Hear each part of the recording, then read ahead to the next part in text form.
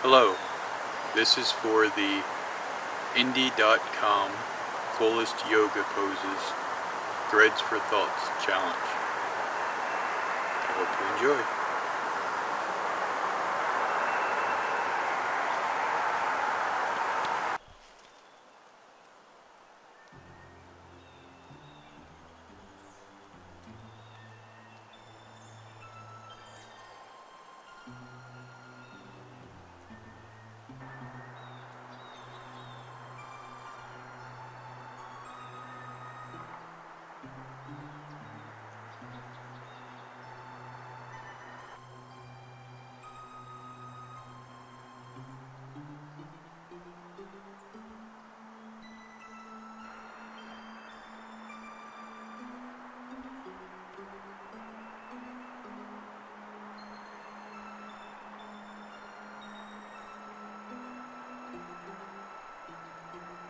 Thank you.